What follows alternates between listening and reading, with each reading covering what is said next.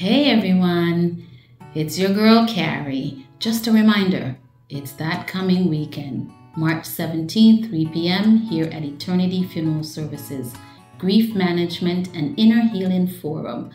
Please give us a buzz. Let us know that you're coming. This way we can adequately prepare for you. 718 231 8737.